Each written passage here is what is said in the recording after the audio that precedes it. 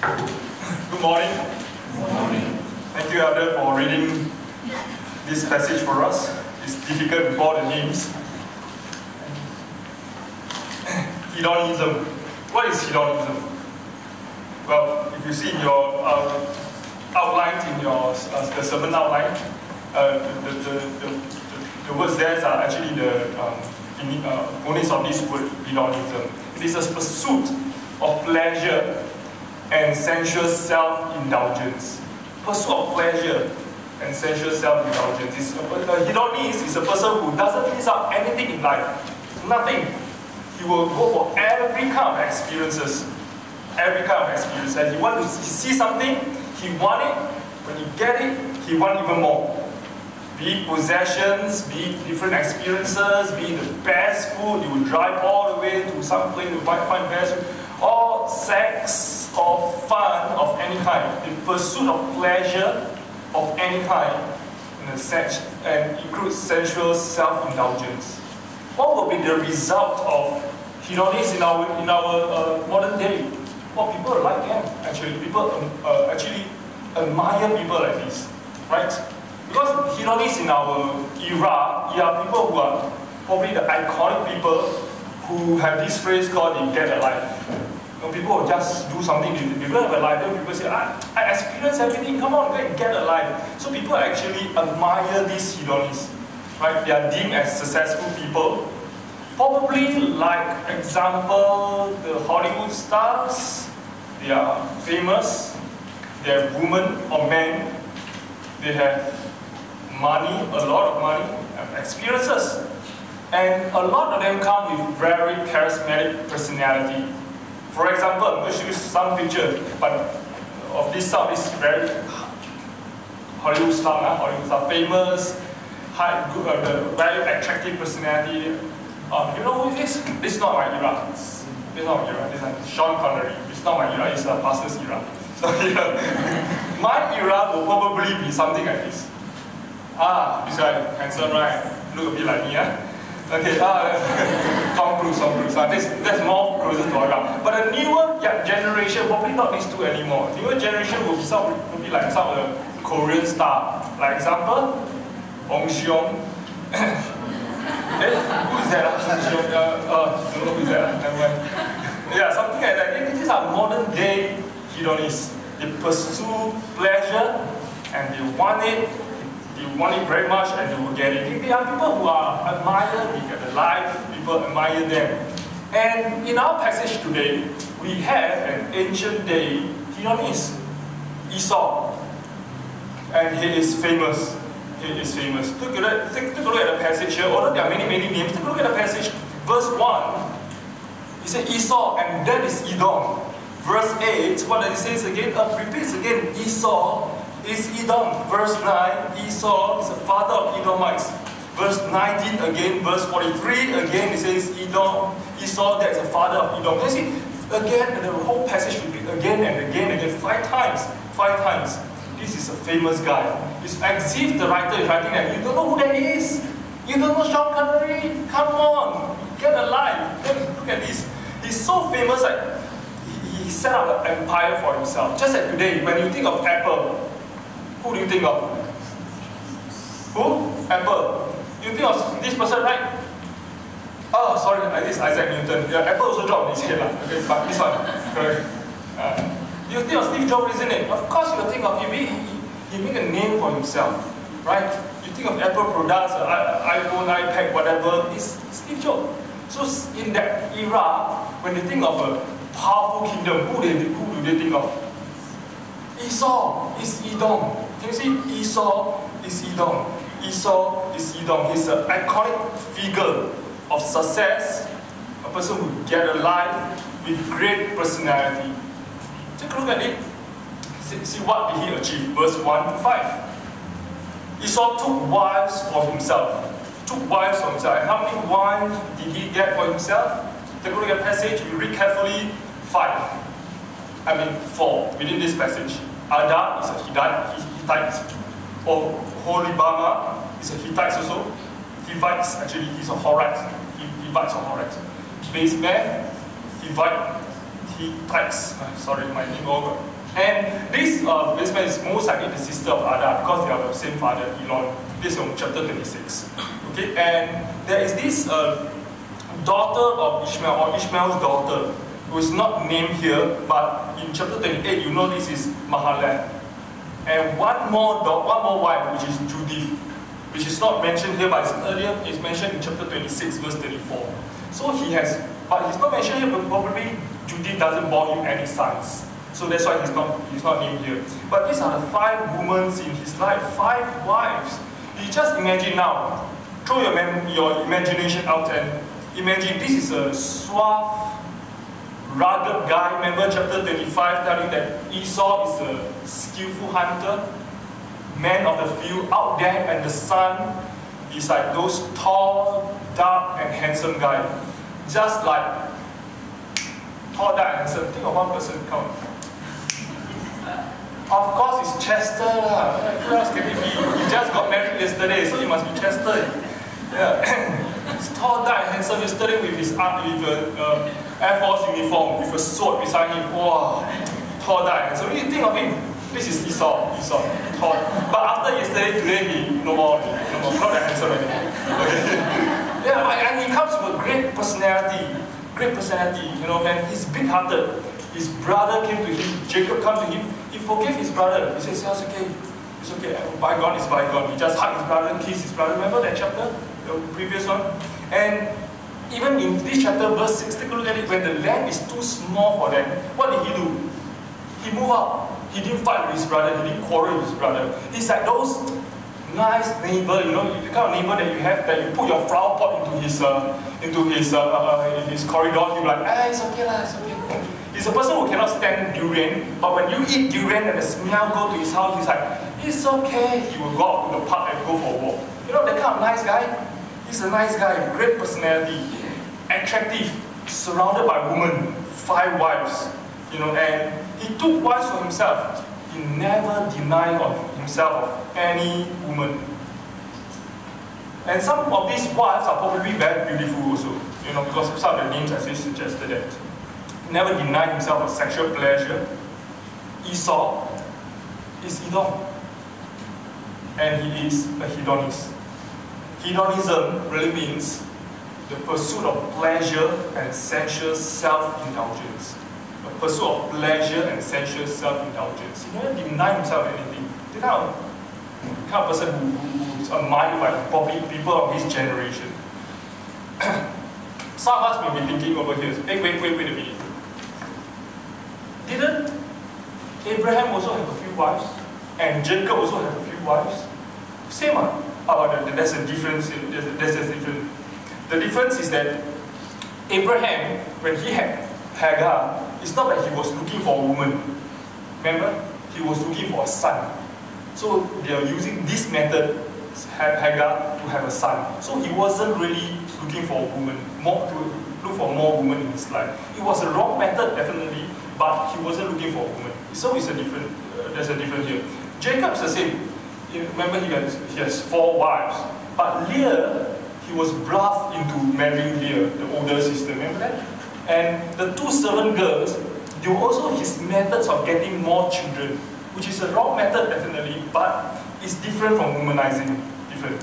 But Esau here, in every in the three chapters, verse 20, chapter 26, 28, and over here 36, each time we talk about Esau having wives, he took wives for himself. Verse 2, he said he took these wives from Canaan, Canaanites, from the Levites, Hittites, and uh, from the, Shemalites, uh, Ishmaelites. So he, he, he is a hedonist. He never denied himself of any pleasure. And uh, he's not just surrounded by women, actually. Take a look at verse 6 to verse 8. He is rich. He's rich. He has a lot of money. You know, he's, how rich is he? Take a look at the verse. He has livestock, cattle, and he has large property. Verse 6 telling that. And it's so large, verse 7, until he and Jacob, his brother, uh, cannot contain within the same piece of land. You know, and where did he go? He went to Mount Seir. Verse 8 tells us, and he went to occupy the hill country of Mount Seir. You know, and This is the first repetition in verse 8 about Esau. He says, so Esau sat there and who? He said, Esau is Edom. Esau is Edom. Wow. He's an iconic figure of success, person who get a life, actually. If he's a modern Esau, what would he be look like? Show some, show some picture. He will be staying in these of houses. Wow, big house with swimming pool. He suka suka and he jump inside the swimming pool. So he'll be like that. What else will he be like? He'll be driving a car, but not just normal car. It's something like this. Ah, oh, it's like this Esau. He probably have a big company like this. Can you see? Edom Labs. Ah, don't play play ah. Got his name there. Okay, Edom Labs. And he'll probably appear in some kind of finance and uh, uh, business magazine. You know, he'll be interviewed and all this like this. Can you see Edom Labs there? But he probably look like that, suave looking, young, uh, not that young, but know, look handsome guy. He's, he's Esau. He's Edom. He's a hedonist. Never deny himself of any experiences. Never. That is not all about Esau, actually. He made a name for himself, verse 9 to verse 43. He made a name for himself. You see? And I, I, in, your, uh, outline, you see, I, I purposely arranged it in an ascending order. You know, there was a progression from verse 9 to verse 43, and it's the upward progression. Upward progression. Take a look at it, verse 9 to verse 14. Give you a whole list of Esau's sons and grandsons. He has five sons and ten grandsons and other daughters as well, which is not mentioned. So what do you call that? I put uh, there fruitful. He's very fruitful. Five sons, ten grandsons. He's fruitful. Verse 15, verse 19. More than that, he began to call some of these sons as chiefs. Chiefs. That means they are forming clans. You don't lead two children and say, like this I'm a chief. You don't. You have you need a clan behind you to call a chief. So he is a chief. Okay, so I what do you call this? Put as successful. You see he's, he's not just fruitful, he's, he's successful. And verse 19 tells us Esau is Edom, father of Edomites. Hedonism. He made a name for himself. Right? From verse 20 to verse 30, there's a begin to talk about the tribes, the original tribe, the natives of Mount Seir, the Horites. And there's a whole list of names there again and some chief. But key verse, take a look at that in verse 25. Look at verse 25. There's one name there, a woman's name, verse 25. Oholibama, Esau's wife. It's not Obama, it's holier than Obama. That's why it's Oh Holibama. no, whatever. Otherwise, it's a woman, it's a woman. Okay. She, whatever is important here is verse 25 said that this Oholibama is the wife of this native chief, I mean, it's not the wife, the granddaughter, great, great granddaughter of this native chief, Seir, and Esau married her, verse 2. You see verse 2 that he married this Oholibama. He married the correct family. In fact, after marrying these native people, he took over the he took over the whole entire uh, territory, Mount Seir. And the scripture actually tells us that he took over by force. How do you know that? Let me show you a verse. You don't really have to turn to it. Deuteronomy chapter 2, verse 12. You can put out a reference. Chapter 2, verse 12, it says, The Horites, which is here, the Horites, also lived in Seir formerly, but the people of Esau dispossessed them and destroyed them from before them and settled in their place. Can you see? He married to their family, established himself. After that, took over the whole entire uh, uh, territory by force. By force. What do you call this? Powerful. He has his own clan, he's become successful, now he is powerful. He took over the whole entire Mount Seir. Esau is Edom. Never, never denied himself of any pleasure, any experience. Verse 31 to 39, there's a list of kings over there. List of kings. Suddenly there's this list of kings who are ruling over the land of Edom. Who are these people? Well, we don't really know how they come about, but the key verse is verse 31.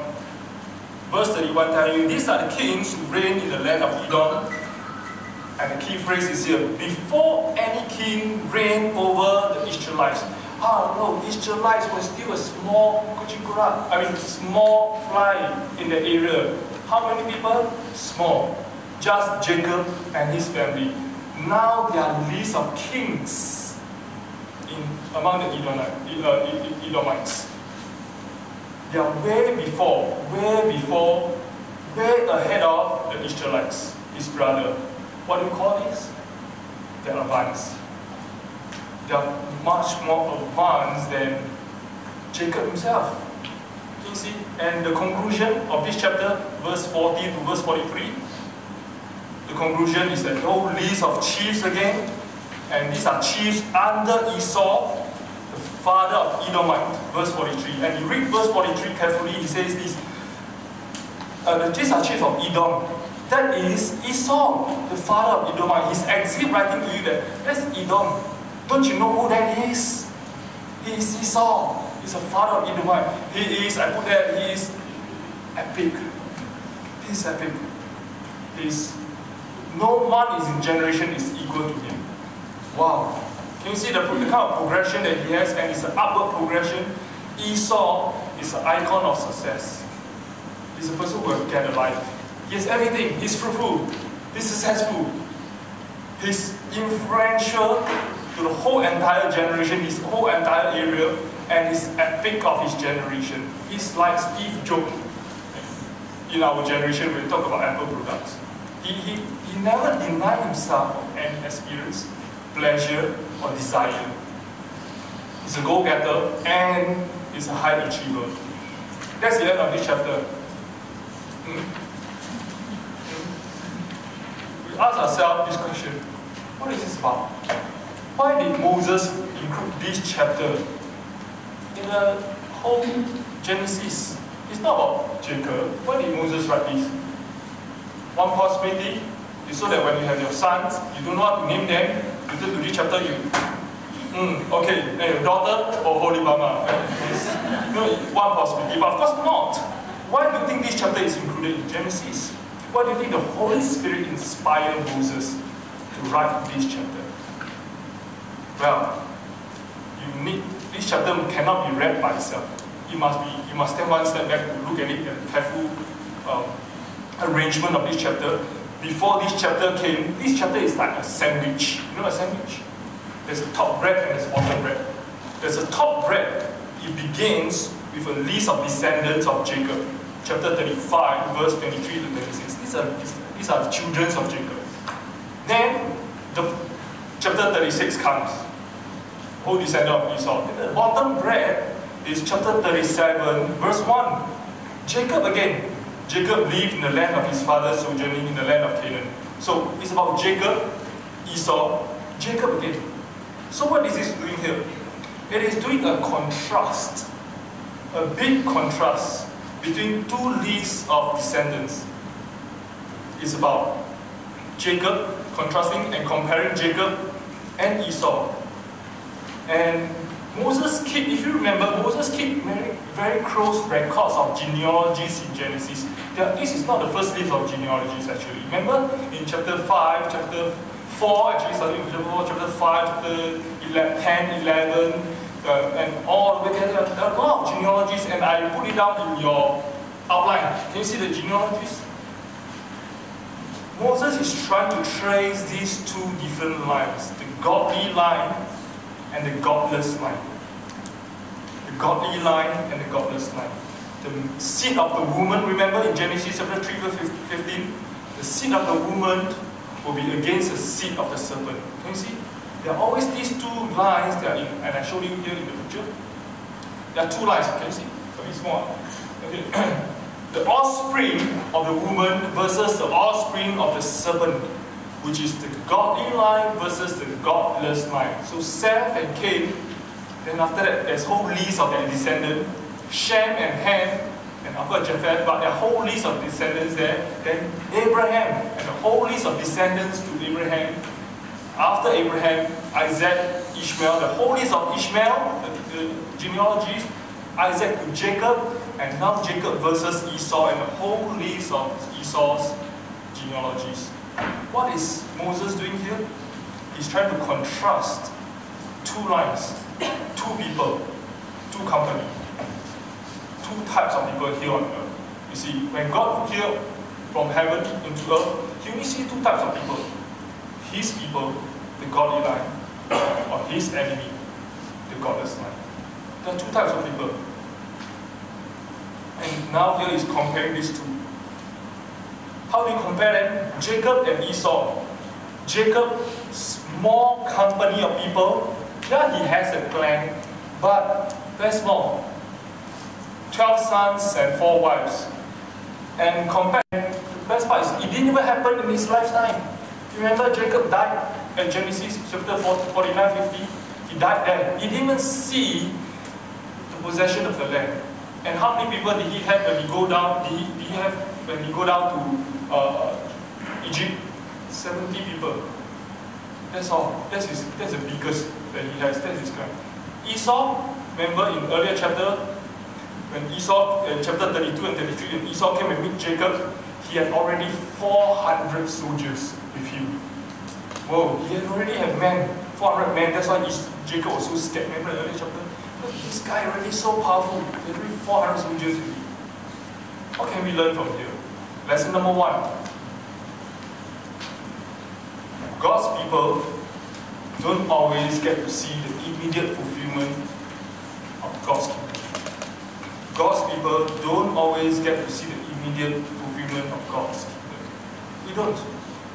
The church of God, the church of our Lord Jesus Christ, is waiting for the kingdom of God to come, for Jesus to return again, right? And we waited. We waited for a long time. And what do we see here on earth? Evil. A lot of evil. Lots and lots of evil, oppression, sin, corruption. We see all these evil around the world. We say, Lord, when are you going to come back? We are still waiting. While waiting, what happened? The gospel get corrupted along the way in church history. False teaching always creep into the church and destroy the church. While waiting, what happened? The church turned worldly. The leaders of the church struggle for power, play politics. Church get corrupted again. What happened? Other than that, other parts of the world, the church get persecuted very badly. A nice person doesn't go to heaven a good person doesn't go to heaven. Remember that. A good person doesn't go to heaven.